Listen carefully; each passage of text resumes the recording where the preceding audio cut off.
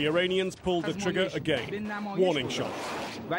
State TV was told to broadcast the pictures of military exercises codenamed Operation Great Prophet 3. This was a message to the world. To Israel, we can reach you.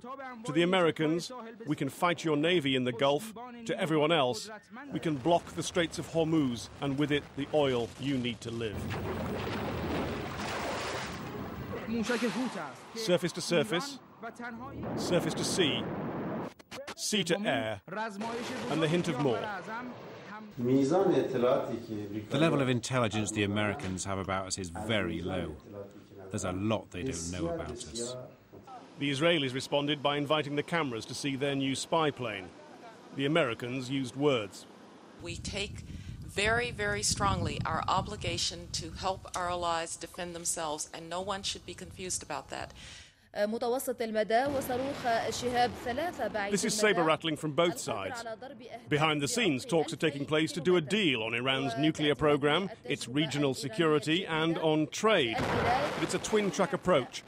Both sides are talking and shouting at the same time. Neither side knows if the other is bluffing. Will the Iranians continue to block UN inspectors from their nuclear facilities? Would anyone dare to do anything about it if they do? Tim Marshall, Sky News.